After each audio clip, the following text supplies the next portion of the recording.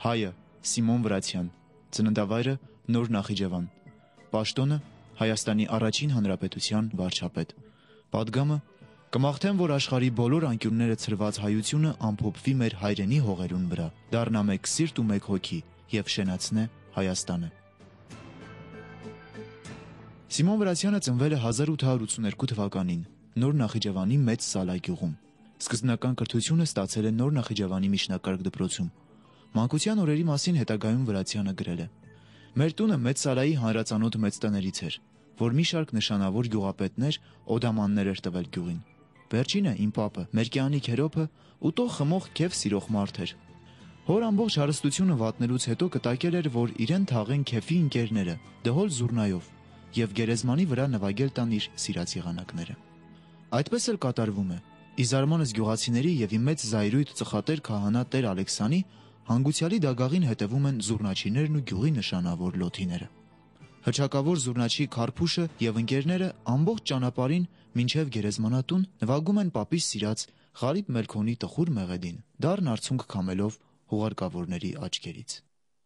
Մեր տունը մենավոր արագիլի պես բարձր կանգնած էր ընթարցակ ու մերկ բակի ծայրը վերևի թաղում ժամի մահալայի դիմաց կամուրջի մոտ զորի գլխին Մեր սուֆայից լայն ու երկար պատշգամբից բացվում էր գեղեցիկ տեսարան եկեղեցու եւ գյուղի մեծ մասի վրա։ Այս սուֆայում անցավ իմ վաղ մանկությունը, վերը կտուրի տակ բույն դրած ծիծեռնակների ընկերակցությամբ։ Մայրս պատմում էր, որ ամենքի ուշադրությունը գրավող երեխա եմ եղել ես։ Տեսոք,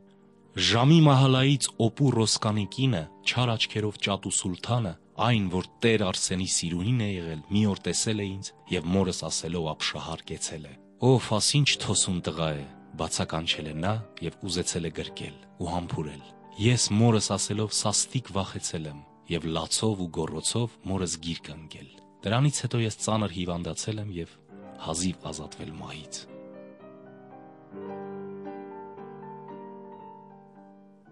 Սիմոն Վրացյանի ծնողները ապրելով Ռուսաստանում միշտ էլ կարևորել են իրենց զավակների հայեցի դաստիարակությունը։ Հատկապես մայրը անհանգստանում էր, որ իր զավակները հեռանում են հայ եկեղեցուց ու հայոց լեզվից։ Տարիներ անց Սիմոն Վրացյանը իր հուշերում բավականին պատկերավոր նկարագրում է իր ընտանիքի մտնոլորտը, գրելով. Երջանիկ չէին սակայն մեր ծնողները։ Մորը սիրտը մխկտում էր, ճակատը ավելի եւ ավելի ծածկվում էր խիտ գնճիրներով։ Մայրական սիրտը կծկվում էր, երբ տեսնում էր, թե ինչպես արագ օտարանում են իր զավակները։ Միտք արա այ մարդ, ինչ անինք, աղաչում էր նա հորս։ Եվ միտք էին անում բայց ելք չէին գտնում։ Հարամը լա մեր կերած հացը, կրկնում էր մայրս արցունքն աչքերին։ Ավելի աղեկ է գեղը չոր հաց ուտեինք, քաղցած ապրեինք, միայն թե տղակս հայ մնային, հայի ժամը չզրկվեին, հայնակ կալաճի անեին։ Մեզ համար անըմբռնելի էր մորս սուքն ու լացը։ Ինչու է ուզում, որ անպատճառ հայ մնանք։ Հետագայում Սիմոն Վրացյանը դարձավ իր ժամանակի այն բացառիկ մարդկանցից մեկը, ով ծնողներից ստացած դասերակցությունը փոխանցեց եկող սերունդներին։ 1900-1906 թվականներին Սիմոն Վրացյանը սովորում է Էջմիածնի Գևորգյան ճեմարանում եւ դառնում է Կոմիտաս վարդապետի սիրելի սաներից մեկը։ 1908-1910 թվականներին պատանի Սիմոն Վրացյանն ուսումը շարունակում է Սանկտ Պետերբուրգի համալսարանի իրավաբանական եւ մանկավարժական ֆակուլտետներում։ 1906 թվականից Վրացյանը սկսում է հեղափոխական գործունեությունը։ Զենք է ձեռք բերում եւ ուղարկում Արևմտյան Հայաստան ֆիդայական ջոկատներին 1907 թվականին մասնակցում է Դաշնակցական 4-րդ կոնգրեսին։ Հետագայում Սիմոն Վրացյանն ազգին ծառայելու ու նվիրվելու տեսակը կապում էր ջեմարանական տարիներին ստացած կրթության հետ, որտեղ էլ ձևավորվել էր նրա աշխարհայացքը։ Վրացյանը արդեն 1908 թվականի համարադրությունից հետո երիտուրքական համարադրությունից հետո նախ հասնում է Ամերիկա, բավական երկար այնտեղ աշխատում է Ամերիկայի կոմիտեում, հայրենիք դերթում, ապա որպես Ամերիկայի Ամերիկայի Դաշնակցության կոմիտեի падգամավոր ընտրվում է 1914 թվականի առաջին համաշխարհային պատերազմի նախորյակին գումարված Դաշնակցության 8-րդ ընդհանուր ժողովի падգամավոր եւ այդ ժողովի ընթացքում նա ընտրվում է Դաշնակցության բյուրոյի անդամ եւ այստեղից արդեն նրա գործունեությունը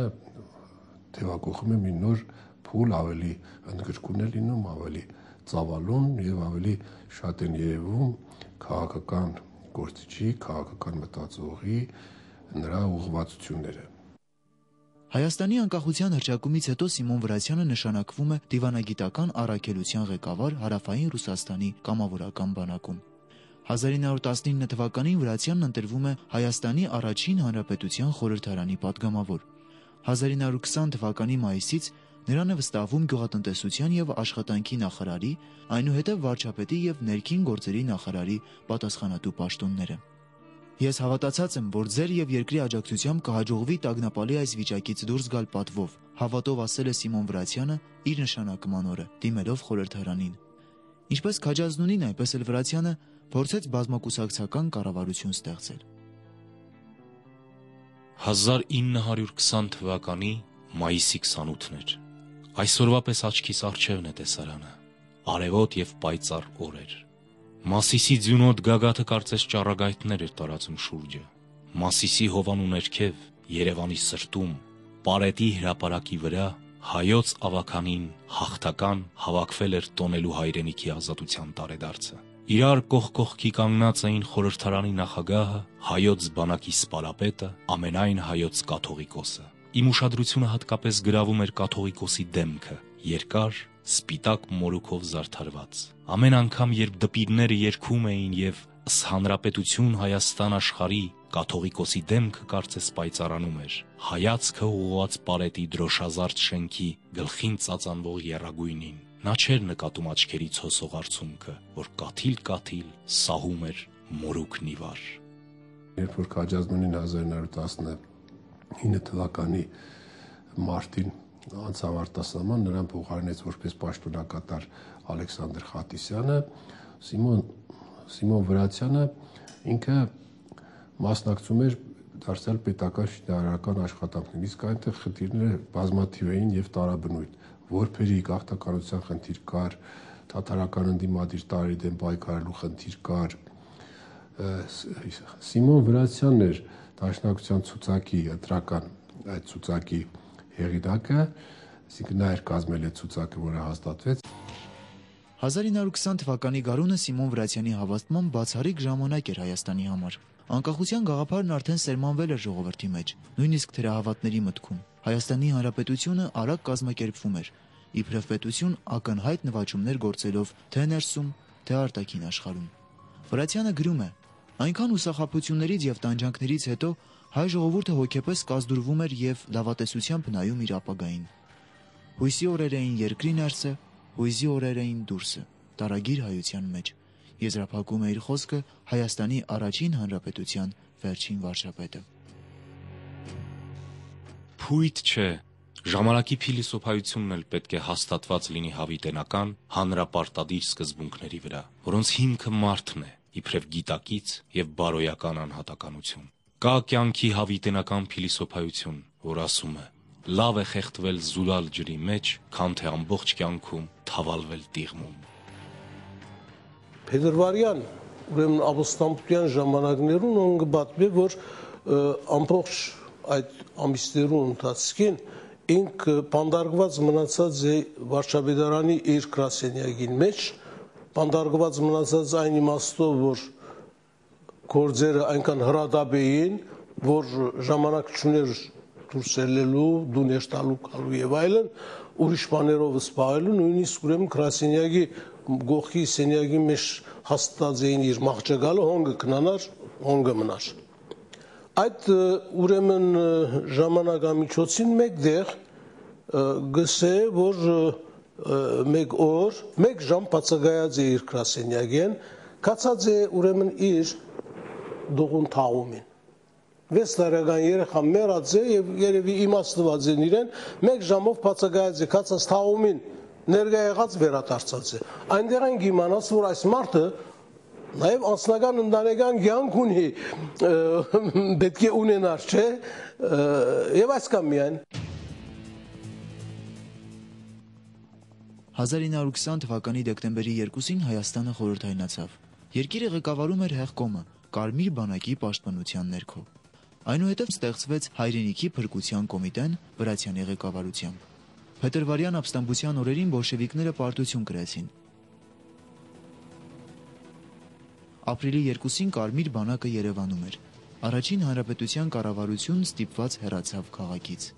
Սիմոն Վրացյանը, առաջին հանրապետության վերջին վարչապետը, ով պաշտոնավարեց ընդամենը 8 օր, այդ չարաբաստիկ օրերի մասին հետագայում պատմել է. Վերջին փամփուշտը պարպելով Հայաստանի մարտիկները կառավարությունն ու պաշտպանությունը բոլոր նրանք, ովքեր մերժեցին ենթարկվել ստրկության անարգ լծին, հաշտվելով հայրենիքի անկախության կորստի հետ, հուլիսի 10-ին ճեղքեցին կամուրջներ չհանդուրժող կատաղի Արաքսն ու անցան Պարսկաստան, տանելով իրենց հետ անկախ Հայաստանի դրոշը,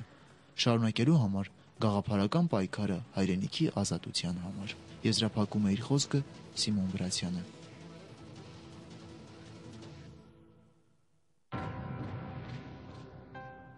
Հայ բոլշևիկները սկսեցին ուրացումով եւ մերժումով ամեն բան, որ ազգային է, զուտ հայկական, գաղափարապես եւ նյութապես բնաջնջելով ազգային ամեն արժեք։ Հիմա ուզում են հավատացնել, թե հայոց ազգը իրենք են, հայկ նահապետից սկսած մինչև ընկեր մացակ ու միսակ իրենցն է հայոց պատմությունը եւ հասան մինչեւ այնպիսի ցնդաբանության, որ Սարդարապատն ու Բաշ ապարանը մայիսի 28-ն էլ իրենք են կերտել վաղը երևի հավատացնելու համար, որ Երևանի բանտում կացնահարված դաշնակցականները իրենք են կացնահարել իրենց։ Եվ անշուշտ հավատացողներն էլ կգտնվեն։ Այս զարմանալի դարում ամեն բան հնարավոր է եւ ներելի։ Նա իսկապես բավական ակնառու դեր է ունեցել Հայաստանի առաջին հանրապետության շինարարության գործում եւ փաստորեն ան, անմնացորդ նվիրվել է Հայաստանի ազատագրման, հայ ժողովրդի ազատագրման դատին, ի վերջո հայապահպանման բուրն գործունեություն է ծավալել Սփյուռքում։ Եվ վերջապես հանդիսանում է հայ քաղաքական մտքի գրողը 1921 թվականին Սիմոն Վրացյանն ապրում էր Ֆրանսիայում, Ամերիկայում այնուհետև տեղափոխվում է Լիբանան, ուր շարունակում է իր քաղաքական գործունեությունը։ 1945 թվականին Վրացյանը որպես հայկական ազգային կոմիտեի նախագահ վերջնագիր է ներկայացնում Սան Ֆրանցիսկոյում ՄԱԿ-ի հիմնադիր հանձնաժողովի կազմակերպիչ պետություններին, նրանց ուշադրությունը հրավիրելով հայ ժողովրդի հանդեպ թույլ տրված պատմական անարդարության վրա։ Հասկանալի է ու բնական, որ թղթե շերեփներով հարիսա չկարողանալով ստանալ Խրիմյանի հաջորդները ձեռք առին երկաթե շրեփներ եւ հայոց լեռներում որոտած հայ հեղափոխականի մոսինը։ Լսեցին խելագարված երկչի մեղայականը, հայ ժողովուրդ, քո միակ փրկությունը քո հավաքական ուժի մեջ է։ Մեր նախնիքը ազգի համար իրենց կյանքը զոհեցին։ Զոհենք եւ մենք, սովորենք զոհելու եւ զոհվելու։ Հին հույն իմաստասերն ասել է. ամեն բան հոսում է, կյանքն էլ է հոսում, աշխարհը եւս հոսում է հոսում է որոշ տրամաբանությամբ, համաչափության մեջ, անվարան, վայ նրան, ով ականջ չունի լսելու կյանքի համանվակը։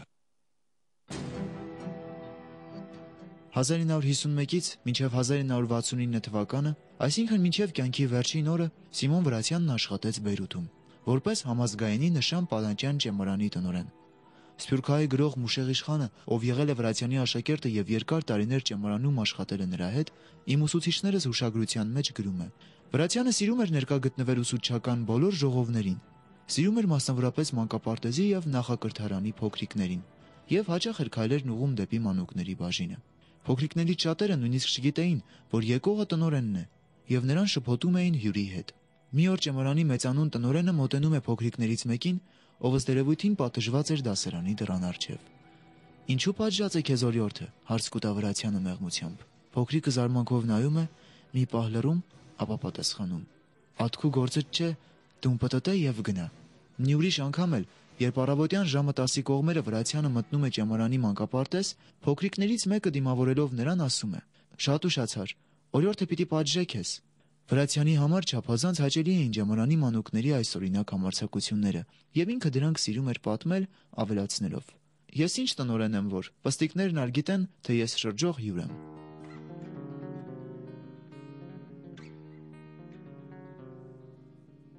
Վրացյանը շատ այսպես հատկանշական մարդ էր։ Մա միշտ կոչկված գուքար գնստեր քրասեղանին արջև ամբյոնին վրա ցերքին ոչ թուղթ կար, ոչ նոտ կար, ոչ քիրք կար եւ ոչինչ կար։ Եվ կսկսեր խոսելու։ Կխոսեր ուրեմն իր նյութը գբատներ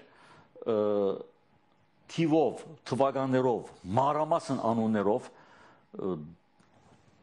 առանց որևէ բան մոռնալու, առանց գմգմալու, առանց որևէ փնդրդուք քնելու գանոնավոր նախատասություններով լրիվ եւ որ բահը գվերջանար իր տասախոսությունները վերջացած կլար Հայրենիքի մարտիկը Սիմոն Վրացյանը ինչպես իր նախորդները սերունդներին թողեց գրական պատմական հսկայածավալ ժառանգություն Արժեքավոր նյութեր են պարունակում նրա Հայաստանի Հանրապետություն մենագրությունը, կյանքի ուղիներով 6 հատորյակը եւ մի շարք գրքեր նվիրված հայ աղափողական դաշնակցության պատմությանը։ Գրքերից մեկում Սիմոն Վրացյանը հիշում է. Ընկերներից մեկը պատմեց Հայաստանի Հանրապետության վերջին դեպքերի Փետրվարյան ապստամբության մեջ իմ ունեցած դերի մասին։ Մարդը ում պատմում էր այդ ամենը, լսում էր զարմանքից լայն բացած աչքերով։ Եվ այդ բոլորից հետո դուք չէիք հուսահատվել եւ շարունակում էիք հավատալ, թե ձեր իդեալին պիտի հասնիք,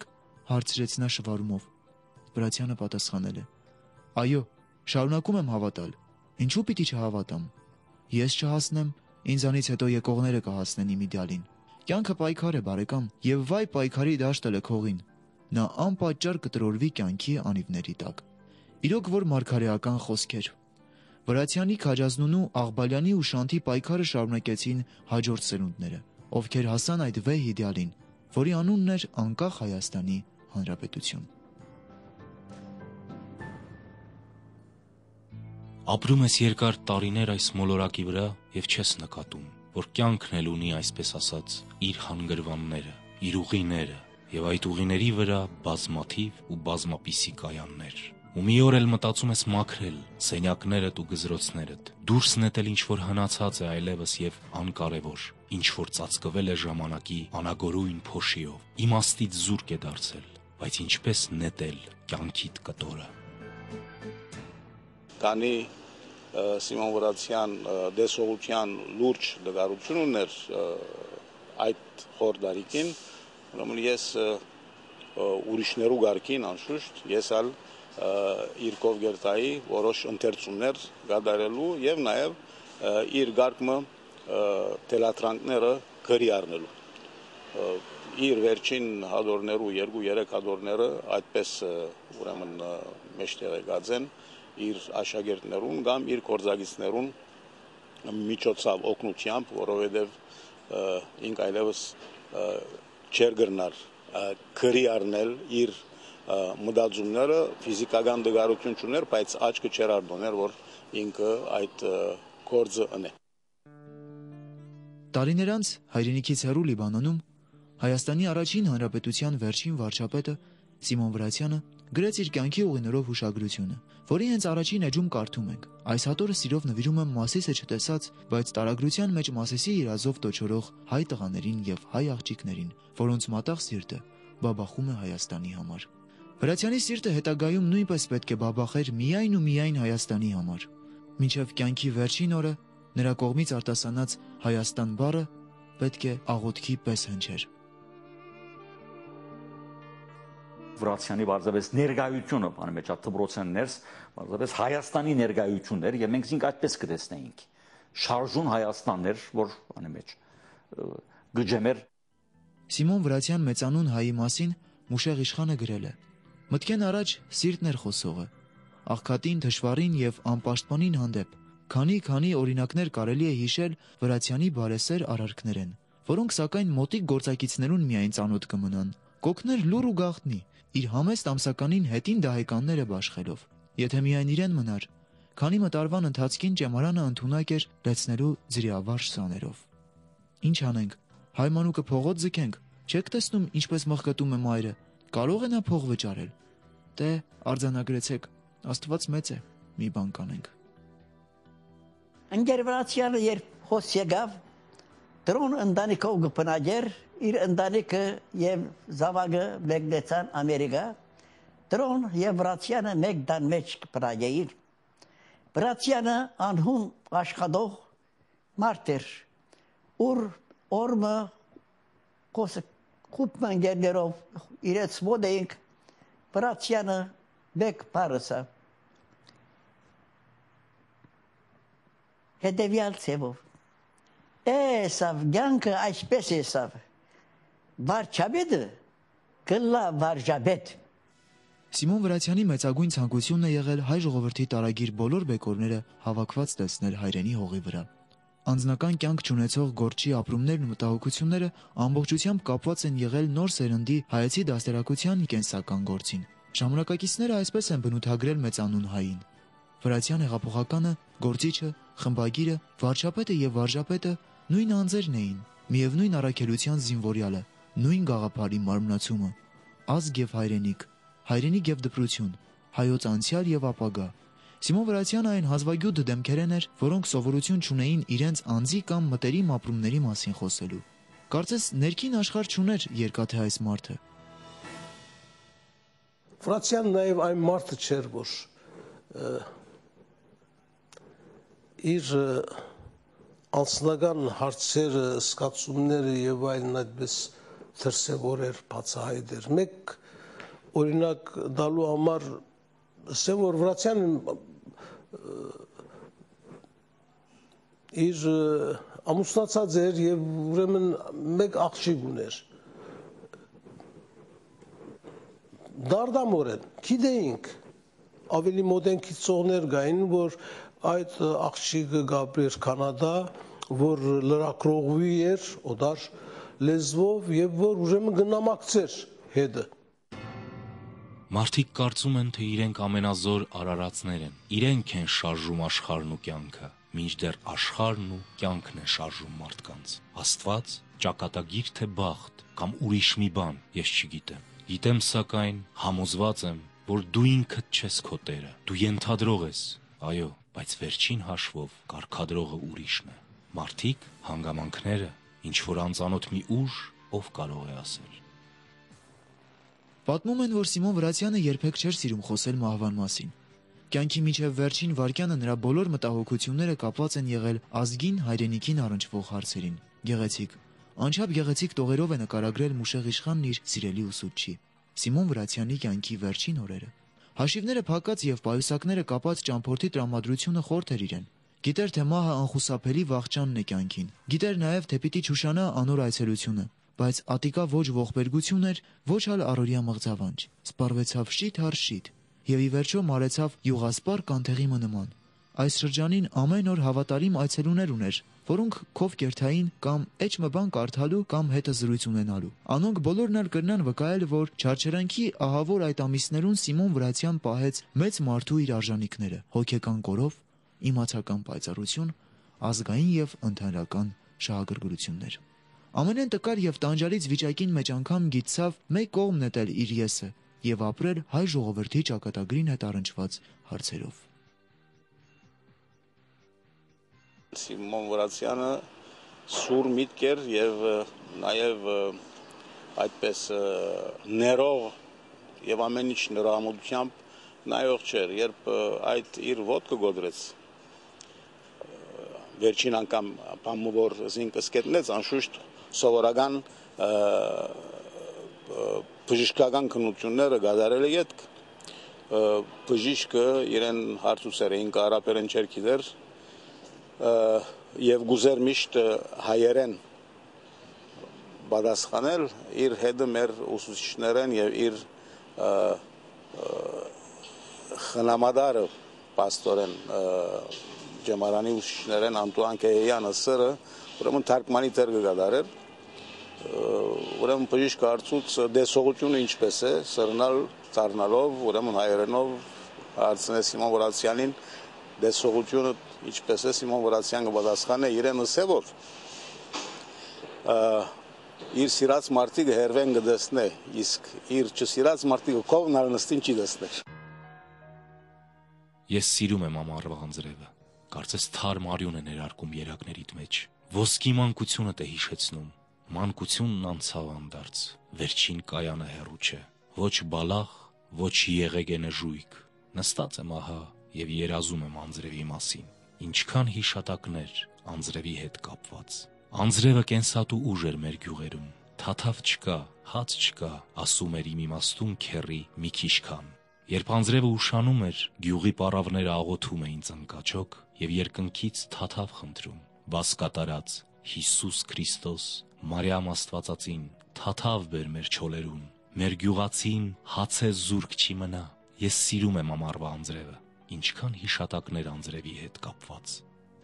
Սիմոն Վրացյանի մոտ հյուրընկալվում են Հայաստանից ժամանած մի խումբ պատմաբաններ։ Բավականին հուզիչ հանդիպում է տեղի ունենում։ Երիտասարդ պատմաբանները քաջ գիտակցում էին, որ իրենց արչև Հայաստանի առաջին հանրապետության վերջին ապրող վկան է՝ մեծ հայը, ազգային գաղափարների նվիրյալ մարտիկը։ Հանդիպման վերջում երիտասարդ պատմաբաններից մեկը հարցրել է. «Ինչ պատգամ կուզեք տալ հայ ժողովրդին, իբրև վաստակաշատ մտավորական գործիչ»։ Վրացյանը մի պահ լռել է, ապա իր խռպոտ ձայնով աղոթքի պես հատիկ-հատիկ արտասանել. «Կմաղթեմ, որ աշխարհի բոլոր անկյունները ցրված հայությունը ամփոփվի մեր հայրենի հողերուն վրա, դառնա մեկ սիրտ ու մեկ հոգի եւ շենացնե Հայաստանը»։ Մարդիկ թերևս դժվար կպատկերացնեն, թե ինչպես այսքան երկար տասնամյակներու ընթացքին Սփյուռքի հայությունը այդպես չուծացած, չայլասերած վար բահաձե իր հոգին մեջ հայրենիքի սերը, ազատության սերը եւ այլն, բայց մոռնան որ այս մարտիկը գային Հայաստանը ներգայություն էր մեր մեջը, մեր շուրջը շնորհիվ այս մարտոց որոնք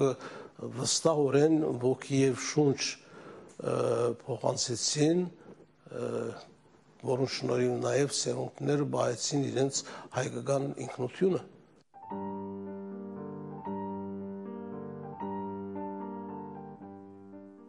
Սիմոն Վրացյանի մահով հայության կյանքից հեռացավ ոչ միայն անձնվեր ազգային գործիչ, քաղաքական ու պետական փայլուն դեմք եւ շնորհալի գրող, այլև զորեղ անհատականության տեր շատ ինքնատիպ մի մարդ, ում հոգին անխոցլի էր թաքուն գանձերով, գանձեր, որոնք իր ազգինն էին, իր ժողովրդինը, իր կուսակցությանը, իր ճամարանինն ու յուրաքանչյուր հայինը։ Գանձեր, որոնց շնորհիվ նաև մի գեղեցիկ օր պետք է դրվեին այսօրվա Հայաստանի հիմքերը։